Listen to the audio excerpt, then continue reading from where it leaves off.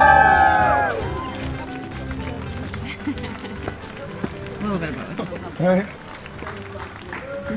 Okay, now I'm very happy. I'm sitting in a patisserie. I'm about to get a chocolate eclair and a glass of Côte. And the weather is gorgeous, and I don't want to leave. And of course, no trip to Paris would be complete without visiting the Eiffel Tower. The one unique, I'm sorry, what? 哦。